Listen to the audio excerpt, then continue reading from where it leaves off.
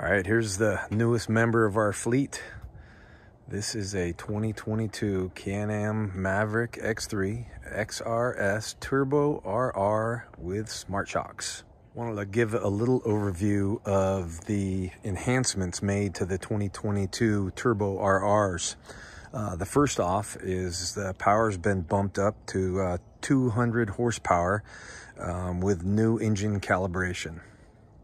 The uh, next upgrade is uh, to the clutch.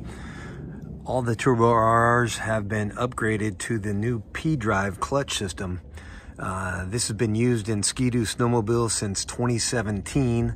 Um, faster acceleration, deceleration, uh, less noise and vibration, and it uses rollers instead of ramps to uh, reduce friction, extend your um, service periods, um, and really the, the noise uh, difference is uh, definitely noticeable. Um, as long as we're on the back here, um, the rear knuckles all have a double shear on the toe link.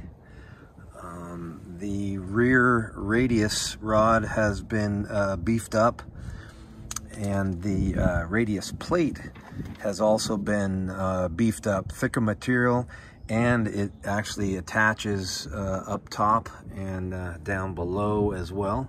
So it's uh, held in place with in more more spots uh, to give it more rigidity and, and uh, strength back there. The uh, whole chassis and roll cage have been reinforced. It's a 30% thicker material with 13% um, more torsional rigidity than uh, 2021. So definitely a more stout frame. Up at the front of the vehicle, the uh, lower A-arms on the 72-inch uh, wide XRSs have uh, all been upgraded. Um, more beefy material in there. Um, so they can take a, a, a little bit more of a hit. Tire size has been beefed up to uh, 32 inch. They're a Maxxis Carnivore, same size front and rear, which is nice. So a spare will fit all four corners.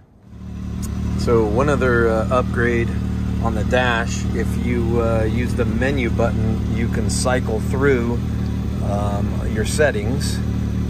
So you have RPM, speed, engine temp, new one is belt and engine temp.